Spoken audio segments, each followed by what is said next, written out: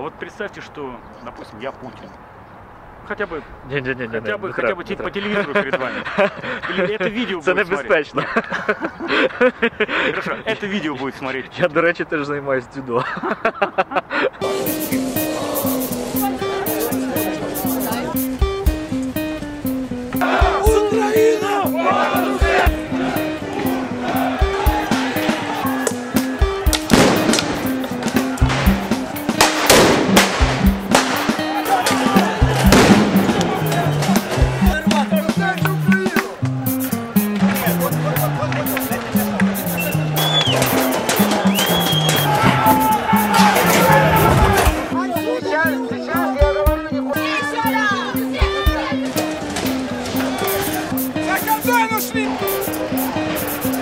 Ну, на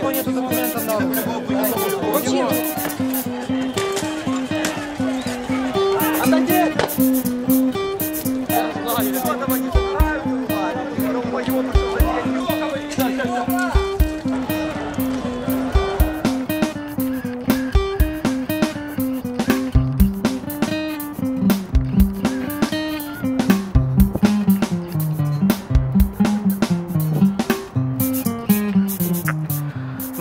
думаю, що тут треба звернутися до першопричини того, що відбувається сьогодні на Донбасі, і е, ставлення людей до цього.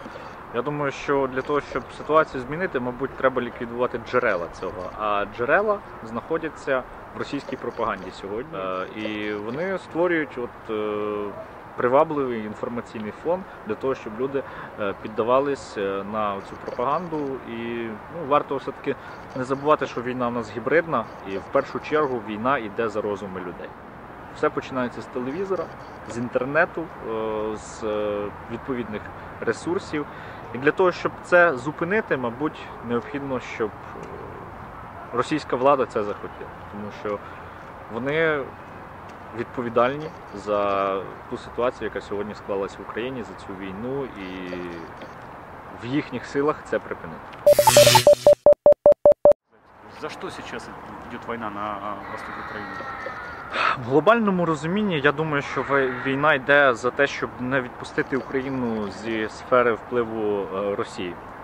Все-таки е, так склалось навіть історично, що Росія, е, саме я говорю про імперську Росію, про ту часть населення, яка має імперські амбіції, шовіністичні погляди, вони постійно зневажали Україну як е, якийсь окремий суб'єкт, державу і вважали, що такої нації, як Україна, як українці, не існує, держави, як Україна, не існує, що це лише має бути колонією е, Кремля і нічого більше. От, мабуть, мабуть, в першу чергу війна йде за сферу впливу, за те, щоб е, Україна і надалі залишалась е, ну, своєрідною неоколонією Російської Федерації. Але ці дії, які робить Росія сьогодні по відношенню України до України має абсолютно зворотній ефект. Мабуть, тому що Україна дійсно е, зупинила російські війська і терористичні формування в Донецькій, Луганській області, а не під Києвом, як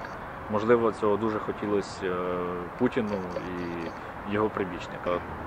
І фактично е, вона відбувається сьогодні не тільки на Донбасі. Тобто на Донбасі відбувається її активна фаза, де є бойові дії, де стріляють, де використовують в тому числі важке озброєння, де постійно гинуть люди. Але в той же час е, війна відбувається і в тилу України, коли ми бачимо ряд терактів, е, ми бачимо диверсію, як з вибухом в Балаклії. Коли ми постійно стикаємось з виявленням нашими спецслужбами ворожої агентури, яка е, працює у нас в глибокому тилу, Майдан, є душі, беззбройна війна проти темної суті, лютує хай ворог, та разом всі ми доб'ємося правди, в віках вона буде, не плач Україно, ніхто не забув, героїв твоїх і ніхто не забуде, лютує хай ворог, та разом всі ми здобудемо волю, і так вона буде.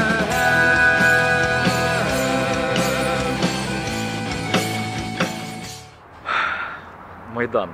Що для мене Майдан? Майдан для мене це, мабуть, мабуть, явище яке спонукало українське суспільство змінюватися. Це свого роду точка е, неповернення, яка розділила українське суспільство на момент до і момент після. Це той процес, який е, підштовхнув українців до формування громадянського суспільства. Одесса с Украиной. Одеса однозначно з Україною. Я гадаю, тут ніяких навіть знаків питання не можна ставити. Дивіться, в 2014 році ситуація була хитка.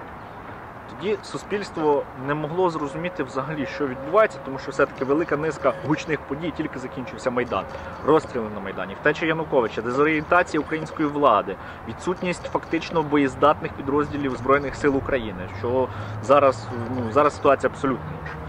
Е, і тоді ще була якась, ну знаєте, активна суспільна підтримка одного табору, іншого табору, проросійських сил. Е, сьогодні цього нема. Сьогодні е, величезна кількість одеситів побачила, що може за собою принести так званий руський мір. Величезна кількість одеситів побачила, що відбувається на Донбасі. І ніхто не хоче повторення цих подій тут. Звісно, є ще прибічники Росії Володимира Путіна і сьогодні в Одесі, вони проживають. Але настільки зміцнилась ситуація з консолідацією всередині українського суспільства і навіть е, можливості активно діяти від українських силовиків, що вони фактично, ті, хто навіть є, вони бояться вже якось е, навіть демонструвати свою проросійську позицію. Тобто людей, які відверто скажуть, так, я підтримую Російську Федерацію, тут знайти дуже складно.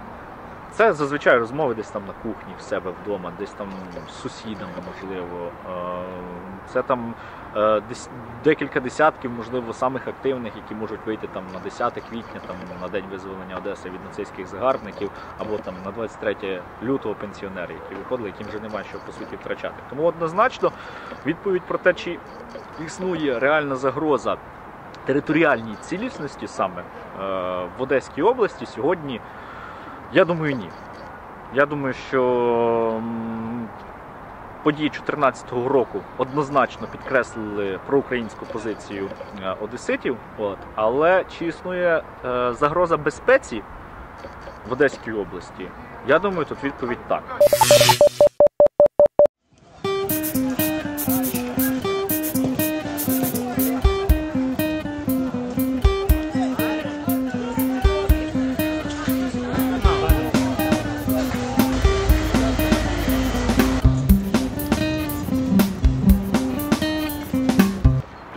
Было 2 мая 2014 года в Одессе? В глобальному розумінні це була спроба реалізації донецького сценарію, як це прийнято зараз казати. Тобто е, на меті у проросійських формувань, які тут діяли активно, активно діяли ще з лютого 2014 року, в них на меті було е, класично все те, що і було в Донецькому в місті Донецьк та Луганськ. Що я маю на увазі?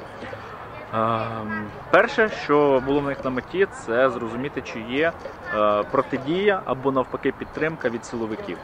Вони зрозуміли, що від силовиків великої протидії не буде, і в разі чого вони навіть можуть стати на їх бік. Тобто супротив від держави очікувати тут жорсткий не варто. І можна реалізовувати план по захопленню області з подальшим проголошенням е, так званої Одеської Народної Республіки. Але другий фактор, який стояв у них на шляху, це громадянське суспільство, яке підтримувало тоді територіальну цілісність е, України. І е, багато це були люди, які були на Майдані, як на Одеському, так і на Київському. От і вони зрозуміли, що в випадку, якщо вони спробують тут проголосити так звану Народну Республіку, їм будуть чинити супротив не силовики, а звичайні громадяни, звичайні жителі міста. Е, І тому основною задачею було їх нейтралізувати. Після їх нейтралізації мало бути захоплення за моєю інформацією зброярні університету внутрішніх справ, де е, на охороні тоді знаходився один-два курсант, фактично, тобто взяти е, зброю їм нічого б не варто було. І подальше це було б захоплення адміністративних будівель, обласного управління на той момент міліції, Служби безпеки України, прокуратури, облдержадміністрації і так далі по списку. Е, Це те, що відбувалось фактично е, в Донецьку та Луганську. Це ж саме мало відбутись в Одесі. Сюди було кинуто шалені ресурси, шалені гроші. Більше того, розкачка ситуації в Одесі йшла задовго до 2014 року. Е, Навіть більше того, міф про те, що Одеса руський город, він озвучувався ще більше, ніж у Донецьку. Тобто сил і ресурсів задіяно сюди було ще більше, ніж на Донбасі свого часу. Е, І навіть дійшло до того, що самі українці з інших регіонів побудувала в них думка про те, що Одеса це от певний анклав е, Росії, руського міра і так далі. Тут були навіть цілі акції, я говорю по-русски. Цих акцій не було в інших містах України. Тобто я про що говорю? Це свідчить про те, що готувались дуже серйозно, готувались завчасно і в час Х мали реалізувати сценарій по створенню Одеської Народної Республіки. Кожного разу на нас нападали. Кожного разу ми були змушені відбуватися. 2 травня вже було перейдено ту межу, за яку не можна заступати. Були перші загиблі.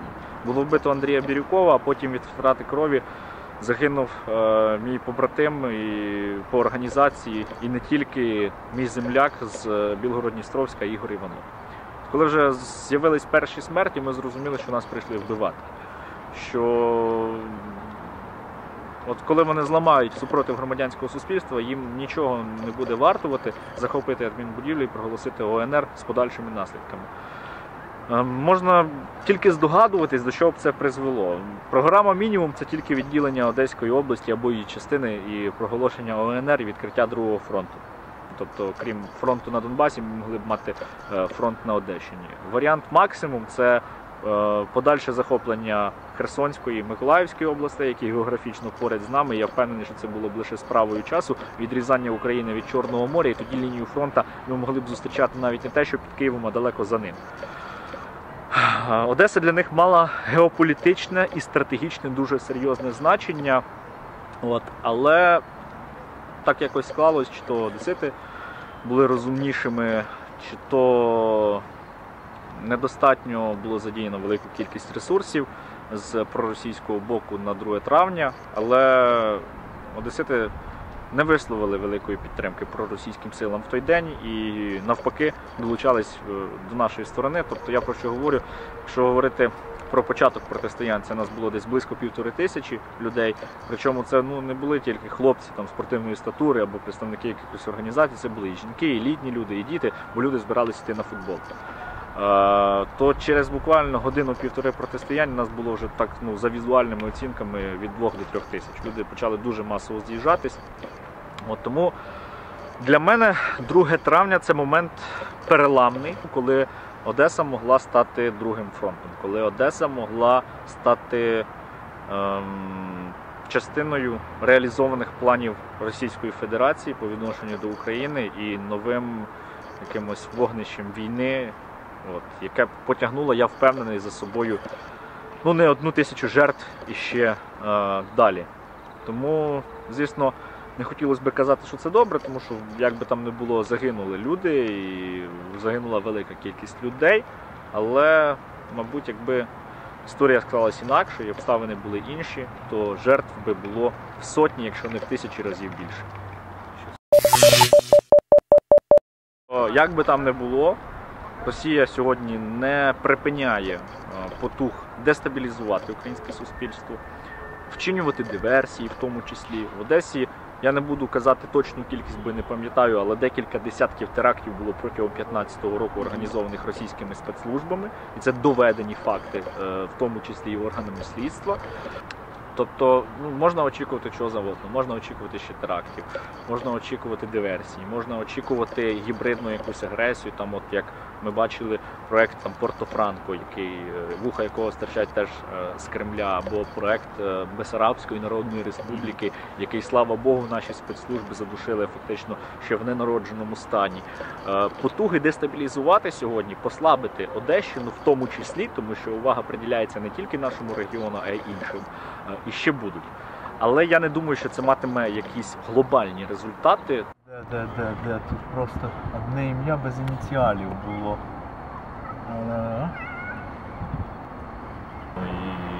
Ну, можна зрозуміти навіть з гуманістичних якихось, з гуманістичної точки зору можна зрозуміти е, родичів там, да, або близьких. Ну, тих, діти, да, да, навіть якщо вони там інших поглядів. Це все можна зрозуміти. Але не треба робити з цього піар, не треба робити з цього пропагандивну картинку, якусь і спекуляції постійно. Тобто на кожну практичну акцію, е, яку вони тут проводять, типу поминальну, на кожну з них виділяються гроші. Це часто немаленькі гроші виділяються. І ну блін, ну хочете поглянути, ну на цвинтар підіть, на могилу до загиблої людини. От там це можна робити. А влаштовувати перформанси тут, відпрацьовуючи бабло, це виглядає як танці на кістках. Причому і в буквальному, бо це є цвинтар, і в переносному сенсі. Легко ли быть патриотом современной Украины в современной Украине? Ну, це, знаєте, я б не говорив тільки про Україну, бо це загальне таке питання, на яке можна надати відповідь. Ем, Складно бути патріотом, мабуть, тому, хто не є патріотом за своєю сутністю. Це питання таке, знаєте, воно дискутивне і більше філософське, мабуть. Кожен обирає сам свій шлях. Кожен сам обирає, чи буде він відповідальним громадянином, чи буде він просто якоюсь сірою масою, яка не впливає на жодні процеси всередині своєї країни і не є частиною громадянського суспільства. Е, я не можу говорити, що мені складно. Тому що якщо я буду казати, що мені складно, тоді постане питання, навіщо я ставав на цей шлях, правильно? Тому моя відповідь ні, не складно. Складно, мабуть, тільки тим, хто не є патріотом всередині, а є тільки зовні. Якось так.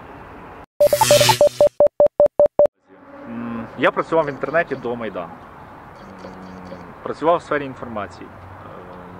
Якщо бути більш конкретним, я займався smm менеджментом як це зараз популярно казати. а Тоді ще такого терміну навіть не було. Це була робота в соцмережах по розкрутці спільноти, і на цьому на рекламі можна було заробляти, до речі, непогані гроші. Е, Коли я дізнався про початок Майдану, коли там почали бити силовиків, ну, мене це дуже сильно зачепило. Чесно, зачепило, бо ну, якось в мене, мабуть, з дитинства ще було загострене почуття справедливості. І мені захотілося одразу поїхати в Київ. Поїхати підтримувати там людей, брати якусь участь теж в протесті, тому що я не вважав, що це нормально, коли в країні процвітає корупція, коли силовики б'ють людей просто ні за що на вулиці, е, крутять в автозаки, кидають, репресують просто за те, що ти вийшов з мирною акцією протесту, що це нормально. Це ненормально. Е, тому, тому я почав цим цікавитися. Але оскільки я багато тоді працював, в мене не було майже вихідних. Я на той час міг за місяць собі дозволити 2-3 дні вихідних, тому що робота забрала майже весь вільний час. Е, я цікавився, чи є е, щось подібні акції протесту в місті Одеса. І, на жаль, я дізнався про це пізно. Ну, я так гадаю, що пізно. Я дізнався про це вже в середині січня, прийшов на Одеський майдан. Якщо коротко переповідати, то там потім знайшов групу однодумців, е, з яких потім утворилася ініціативна група по створенню організації Правий сектор тут. Керував перший місяць нею е, мій знайомий, але потім, в силу певних обставин, було переобрано мене. Не скільки я обирав, а скільки якось доля так, доля так якось е, розпорядилась і було призначено на цю посаду мене. А потім потім ну, довелося вже брати на себе відповідальність, щось робити, тому що, ну, знаєте, якось прийшло усвідомлення, що або я буду щось робити для того, щоб змінити цю країну, от, і не дивитись на когось іншого. Або я не буду нічого робити, але тоді і жалітись не потрібно. Події на Майдані, бо потім я ще поїхав е, на 19-20 лютого в Київ, коли почались розстріли, і був там, брав безпосередню участь е, в тих подіях. Вони мене, мабуть, змінили от остаточно і безповоротно, коли ем, я зрозумів, що я не зможу більше бути байдужим і стояти осторонь якихось важливих процесів, тому що те, що відбувається в країні, воно стосується в першу чергу мене, моїх близьких і потім, можливо, моїх дітей. Я наведу приклад е, зі свого навчання в коледжі. Колись я навчався в коледжі економіки та права в Одесі і проживав в гуртожитку. У мене було там два знайомі. Точніше, одного я вважав більше другом, ніж знайомий, а друг, до іншого в мене було ставлення так собі. Ну, Привіт, до побачення. Мене з одним з цих людей дуже багато чого пов'язувало. Ми були теж земляками, до речі. І вже потім, після окупації Криму, я дізнався, що та людина, з якою я добре спілкувався, вона, е, перебуваючи на службі в морській піхоті в Криму, перейшла на бік російської армії. А другий, до якого в мене ставлення було опосередковане, таке привіт до побачення, він не зрадив присягу і потім е, воював ще на Донбасі доволі довгий час е, за українські збройні сили. І так довелось мені потім спілкуватись з тим, хто зрадив тоді Україну, і я з ним дуже сильно посварився. Сказав, що друже, я е, ну, колись він був мені, можна сказати, другом. Я, ти не ображайся, але якщо ти приїдеш сюди, то я зроблю все для того, щоб ти сів. І я переконаний, що я так і зроблю. Тобто я працював знову ж повторюю, в соцмережах і величезна кількість колег у мене була з Російської Федерації. Відсотків навіть 70 цих людей. Е, Це, якщо переводити в кількісне значення, ну близько 100 людей, мабуть. Тому що робота в соцмережах вона така активна, знаєте, і змушує спілкуватися з величезною кількістю людей, які там тримають інші спільноти, там з ними проводити взаємний якийсь е, піар спільноти і так далі. Ну, це вже своя специфіка. От, із них зараз на сьогодні я можу спілкуватись лише, ну, мабуть, людей 5-6, якщо нарахую, буде добре. Е, деякі мені казали, що от все, от, після подій 2 травня, зокрема, що от все, ти фашист, щоб ти здох, все, ми з тобою не будемо спілкуватись, ви там геть всі здуріли, хахли і т.д. і т.п. Ну, я думаю, що це навпаки добре, що люди проявили себе, люди показали, що це не ті, з ким я повинен підтримувати далі якісь стосунки. І дійсно це стало якимось лакмусовим папірцем і показало, хто є хто. Це була дівчинка, з якою я навчався теж, до речі, в коледжі. І коли ми навчались в коледжі, ну, у нас були теж стосунки такі на рівні привіт до побачення. Більше того, вони були навіть е- в певній мірі не дуже дружніми. Ну, якщо ви розумієте про що. Тобто там вона мене недолюблювала в чомусь, мені я теж там якось ну, в неї можливо Не сложилось. ну, не склалося так. А потім Майдан. Я приходжу до Люка, бачу її там. О, привіт, привіт. Ми на одних позиціях, ми однаково мислимо, як виявилось вже потім. І вона мені в результаті дуже сильно допомогла. Коли почались розстріли в Києві 19 лютого, і е, ми, я маю на увазі тоді Одеський ПС, ми тоді добирались різними групами, різними абсолютно шляхами по 3-4 людини для того, щоб ну, все може статися, щоб хоча б хтось дістався цілі. Слава Богу, тоді всі дісталися. І так трапилось, що я вийшов з потяга зі своєю групою на півдорозі з Києва. І потім ми на машині з Козятина добирались до Білої церкви. А з Білої церкви безпосередньо до Майдану мене довіз е, людина, чоловік, звати його, якщо я не помиляюсь, Володимир. Якщо він буде бачити відео, то йому привіт. Е, він мене довіз е, аж до самого Майдану. От, е, з Білої церкви не взяв ні копійки грошей на своєму власному автомобілі, в той момент дуже сильно ризикуючи, і звела мене з ним саме оця дівчина, е, з якою я побачився потім вже на Одеському майдані, а до того з нею навчався, з якою були доволі е, раніше прохолодні стосунки. От якось, якось, от знаєте, такі критичні ситуації вони дуже часто розставляють потрібні акценти. Сергей, вы знаете, что творится на Донбассе, вы знаете, что творится в Одессе. Вы три года в этом всем участвуете, вы не просто Так, як там. то кажуть, сепари це наш профіль. Когда война закончится? Це дуже дуже складне питання, на яке дуже важко дати якусь однозначну відповідь. Я думаю, що тут два фактори грають свою роль. Перше, коли цього захоче російська влада, а перше, коли цього, а друге, коли цього захоче українська влада. От і все. От така відповідь. А вот представьте, что, допустим, я Путин. Хотя бы, Ні, ні, ні, хотя бы, хотя бы те- по телевизору перед вами. Или это видео Це будет смотреть. небезпечно. Хорошо, это видео будет смотреть. Я, до речі, теж займаюся дзюдо. Тогда, тогда так. Это видео будет смотреть Путин. Вот вы могли бы ему пару слов передать, вот лично? Ну, я не думаю, що це б зіграло якийсь ефект, навіть якби передати. Тому що я думаю, що він в курсі чудово, що йому бажають українці, і я, мабуть, нічого нового не скажу. Я б не хотів говорити особисто від себе, я б хотів, мабуть, сказати від е, громадян, е, яким України, яким болить за цю країну, за цю державу, від громадян, які стикнулись з тим, з чим стикнувся я, які були вимушені ховати своїх е, друзів та близьких. Слава Україні! Героям слава! Знаєте, я, я дам таку відповідь, що розмова з окупантом повинна бути не довше автоматної черги. Взяли ребенка трех лет, мальчика маленького, в ш- в трусиках, футболке, как Иисуса, на доску объявления прибыли. Один прибывал, двое держали. И вот это все на маминых глазах. Маму держали, и мама смотрела. Вот это все, как ребенок истекает кровью, крики, визги. И что так взяли, вот туда надрезы сделали. Чтобы ребенок мучился. Там Российские медиа очень часто использовали эту музыку. Про женщин, которых таскали, привязанные за ноги к танкам, про распятых мальчиков, которые украинские солдаты там это творили, все на Донбассе и так далее. А скажите, вот по поводу распятых мальчиков, вы сейчас э, ну, этим занимаетесь еще? Е, Зараз трошки призупинили, тому що певний дефіцит е, цвяхів е, пішов, бо ми їх використовуємо зараз на іншому виробництві. Ми ними годуємо беременних ветеранів Беркута. От. Але плануємо продовжити діяльність в даному напрямку. Гадаю, вже з наступного місяця, з травня, от якраз під друге число. Тут це будівлю? Принаймні вивісти баннер. Пам'ятник жертвам російської пропаганди. Ці лідери, які їх сюди заганяли, Каура давав цільові вказівки по телефону, вони не несуть відповідальності. Ніякої, абсолютно.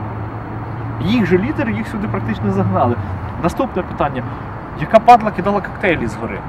Як НАТО розлючений після вбивств декількох е, твоїх людей прибічників, бо Бірюкова тоді всі думали, що це про український активіст загинув. Тоді ну, в цій суматохі ніхто не міг розібратися. Е, як відреагує натовп, який вже побачив, е, що таке кров, як він відреагує, коли підходиш, а в тебе стріляють з вікон або кидають коктейлі з даху? Це викличе тільки зворотню реакцію. А що Тому, думаєш, собі з пацифіками якби- Я впевнений, що якби не було там коктейлів цих е, у них в будівлі, і не було стрільби з вікон, ну максимум там би когось би ну, побили. Ну може якісь би тяжкі тілесні ушкодження були, але не було б такої кількості жертв. Ну це знаєте, дуже складна тема, яку треба розбирати не тільки, мабуть, з точки зору подій по нормам кримінального кодексу і по і з точки зору відстоювання територіальної цілісності громадянським суспільством, тому що тоді, до речі, охрестили по Україні е, це як народне АТО. Перше ефективне АТО в Україні. От. Але тут треба ще дивитися з точки зору психології. Чому що і як відбувалося? Ну, це, це дуже складна ситуація. До речі, по Дому профсоюзу, по будинку профспілок, тут зіграло, зіграло рокове значення саме те, що величезна кількість е, співпадінь, які в сукупності призвели до такого результату. По висновкам теж експертів з групи 2 травня, з якою я дуже тісно взаємодіяв і продовжую взаємодіяти, якби вітер в той день дув в іншу сторону, жертв могло б взагалі не бути. Тобто тут ну, воно по суті спрацювало як велика вить. Ви- Мгм. Витягнуло знизу гори величезну кількість е, вогню, підвищення температури і так далі. Те же российские медиа, которые рассказывают о правом секторе в Одессе и об, э, проукраинских активистах в Одессе, а, говорят о том, что м, русскоязычным, а уж тем более россиянам в России, э, в Одессе небезопасно ходить по улицам, правый сектор и активисты проукраинские их ловят, бьют и вешают Едят. на крестах. А потім їмо. Сейчас, как, ну, сейчас это происходит вот в отношении русскоговорящих в Одессе. Я думаю, що небезпечно в Україні росіянам тим, і не тільки росіянам, я хотів би зауважити, які виступають проти територіальної цілісності та суверенітету України. А росіянам, які е, підтримують сьогодні Україну в цій війні, і, або хоча б які займають нейтральну позицію, я не думаю, що щось загрожує. От е, знаєте, це загальне людське правило. Якщо ти е, громадянин іншої держави приїхав в іншу країну, будь ласка, поважай її традиції, поважай її закони, поважай це суспільство, в яке ти приїхав. І тоді все буде добре. Якщо хтось з росіян їде сюди, е, маючи в розумі якісь свої імперські амбіції, незадоволені чи шовіністичні погляди, то краще сюди не їхати, бо можемо з'їсти. Мы сейчас находимся возле Дома профсоюзов, как я говорил, на Куликовом поле. Сакральне місце, Да, до речі, сакральное До речі, место, тут, тут где сжигают кладовище русских, было. как говорят в России. Где сжигали русских, и очень многих это мотивация ехать воевать на Донбасс, потому что в Одессе сжигали русских. так, це, це Сейчас, було сейчас одним после з- интервью вы меня пойдете туда сжигать? Я из России приехал. Я відповім так, е, згідно офіційних даних слідства, і я можу це підтвердити, як і ті, хто були в той день тут, е, близько 300 людей, які знаходились в палаючому будинку профспілок, було врятовано проукраїнськими активістами. Це в два рази більше, ніж е, врятували е, українські МНСники, українські рятувальні служби. Це по-перше. По-друге, щодо міфу, що там злі бандерівці, там сожглі русських і так далі, і тому подібне. Теж я не говорю зараз е, навіть зі своїх міркувань, а я надаю офіційні дані, які можна знайти у відкритих джерелах, їм підтвердження, що 4 з 5 е, локацій, де було е, де, де з'явився вогонь, де було запалення до будинку профспілок, вони знаходились всередині. Якось так. Ну и по скрипту. Вот я сейчас задавал идиотские вопросы, которые со всей серьезностью могли бы задать вам многие І россияне. задають іноді. Мені, мені багато хто пише, до речі, в соціальні мережі, і в Фейсбук, і ВКонтакті. Я правда не відповідаю, тому що не вважаю це пустою витратою часу, і там бувають такі шедеври, що, що просто навіть не знаєте, соромно цитувати. Вот что еще должны сделать украинцы, чтобы таких вопросов больше не возникало? Вот идиотских вопросов. По поводу русских, по поводу сжигания россиян, нападений. Я, я, думаю, я думаю, що нам треба е, орієнтуватись не на те, щоб такі питання не виникали, а все-таки брати за кредо е, відому фразу українського класика Нам своє робить. Що ми повинні сконцентруватись на перше захисті е, власних кордонів, відновлення територіальної цілісності, контролю України над всіма нашими територіями, включаючи Крим. От ці мають стояти першочергові стратегічні задачі. І друге, це ми маємо налагодити нормальну е, роботу держави всередині. Тобто це має бути об'єктивно нормальна боротьба з корупцією і викорінення, і реформи, реформи, ще раз реформи, перебудова е, інститутів державної влади і розвиток громадянського суспільства. У нас величезні, просто надзвичайно великі запаси і ресурсів, і людей, і хорошому розумінні цього слова, е, і величезний потенціал. Якщо Україна його реалізує, я переконаний, що ми зможемо вийти за економічними, соціальними і іншими показниками на перше місце в Європі і стати однією з е, найсильніших світових держав. От я думаю, тоді всі питання просто зникнуть, і можливо навіть ще проведеться якийсь референдум в Кубані за приєднання до України.